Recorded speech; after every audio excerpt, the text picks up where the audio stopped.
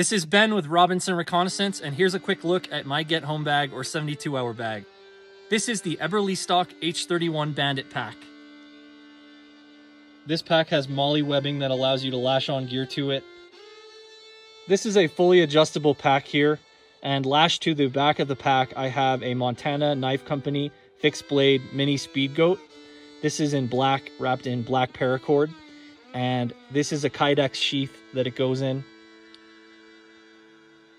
A Get Home bag is designed to help people get home or to a safe location in case they're stranded or unable to leave their location due to a natural disaster, civil unrest, or any other emergency situation. This provides shelter, fire, medical, food, water, and self-defense to sustain you on the go. If you go to my main YouTube page at Robinson Reconnaissance, you'll see a full 20 minute item by item breakdown of everything that I keep in this get home bag or 72 hour bag. Until next time, peace out.